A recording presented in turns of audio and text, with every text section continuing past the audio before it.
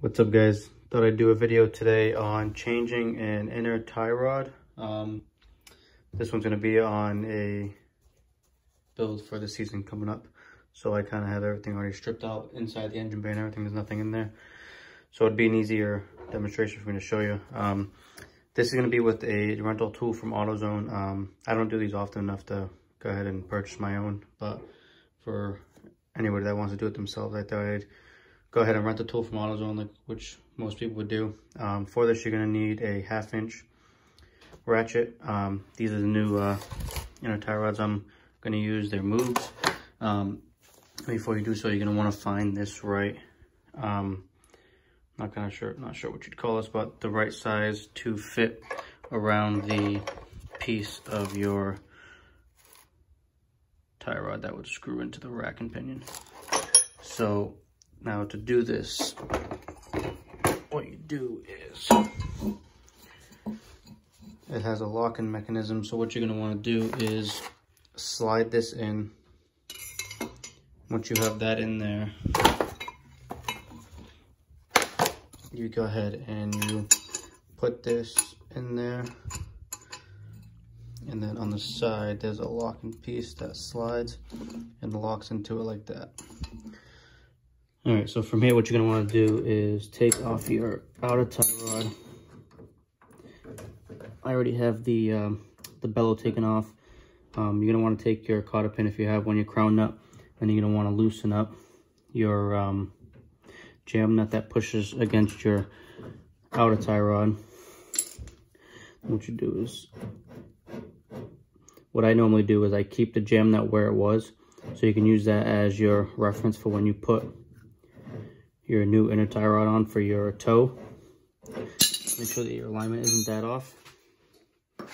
Those outer tie rods were just recently replaced, so I'm gonna go ahead and keep those. This is the wrong bellow, as you can see, the opening is the wrong size, but I already have a new one to put on, so.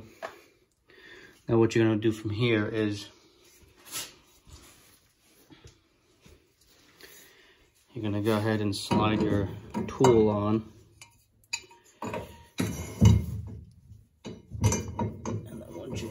in there. You go ahead and get your piece, put it around the inner side. You go ahead and spin this lock.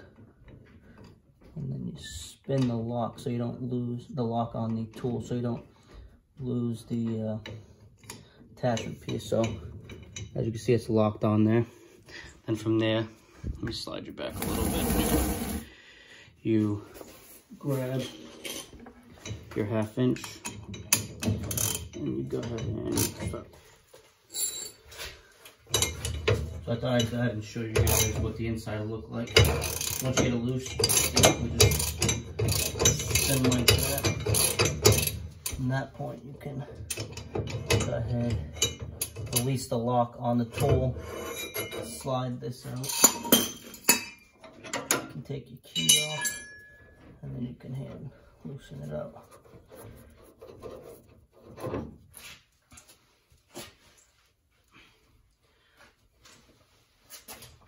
All right, once you get the old one out, what you want to do is just put them side by side, make sure they're fairly close. Um, as you can see on this new one, I can kind of just move it, flops around. This one, I can't even move it. So that's a telltale sign that the uh, inside of it's kind of junk. Um, like I mentioned before, this boot I'm going to reuse on this one, but this was the jam nut that I took off of when the outer tire was here. So you want to line this one up with this one. Um, in my case, we actually, for what I use this car for, we run toe out for oval racing. So it doesn't really matter when we get to when we get to the track. I have to measure toe out anyway. I run about quarter inch toe out. So in my case, it doesn't really matter, but for you, I would kind of try to line up the uh, jam nuts. Um, I still would recommend getting the alignment before you go ahead and drive it. And You got to place some blue Loctite on here. Would help if this was cut.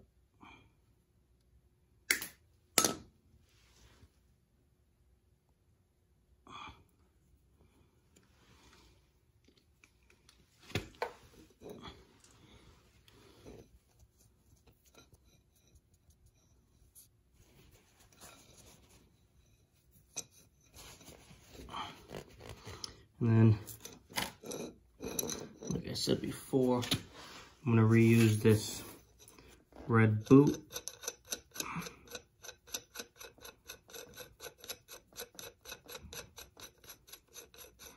I'm gonna go ahead and take this jam nut off. Now in my case where I'm gonna take these off, I'm actually going to grab a white paint marker. So we'll go ahead and put a white paint marker there so we can know how far to put our jam nut back on. So we'll go ahead and screw this off.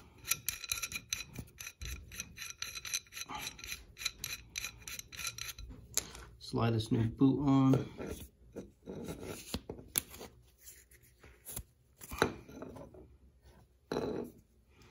Go ahead and put our jam nut back on. Like I said, obviously, if I was you, I would still get the vehicle aligned because this is going to mess with the toe big time.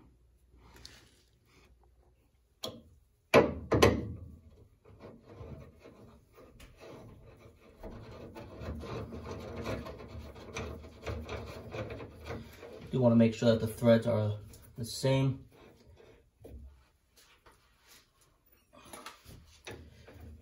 so from here, we will go ahead and slide our tool back on, slide the sleeve back on, put that in, and then go ahead and lock it.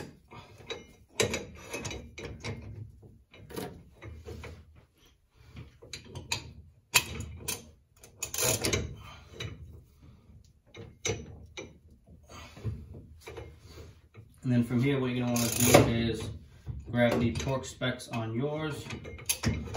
And then I will show you how to put the bellow back on. Next, this is the new bellow that I got. As you can see, it's the correct one and not the off-the-shelf AutoZone one. Um, I did have to take the jam nut off of the tie rod to be able to slide it in. All right, so I myself personally don't like those metal bands. Um, so what I'm gonna do myself is I'm gonna go ahead and use, once you get the inside bellow boot over the lip, go ahead, I myself use a zip tie, but you can go ahead and use the provided metal band clip if you like. Once that's done, I did go ahead and find a, where did I put it? Metal tension clip for the inside of the boot.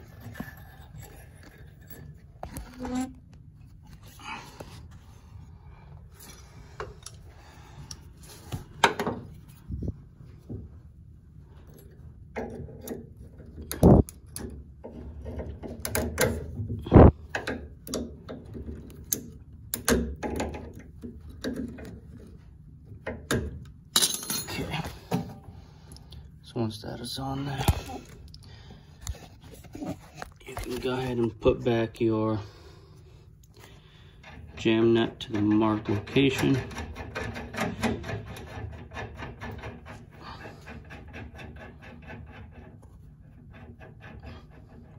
Like so. Go ahead and go ahead and put back on outer tie rod.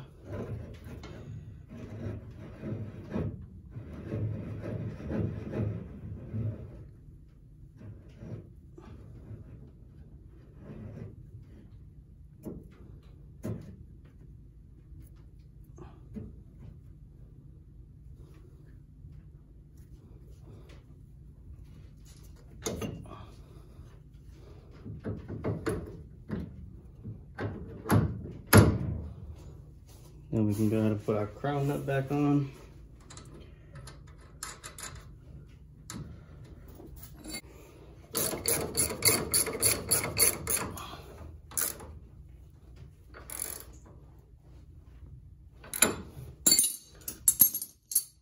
go ahead and put your cotter pin back in. I'm reusing mine because this is fairly new.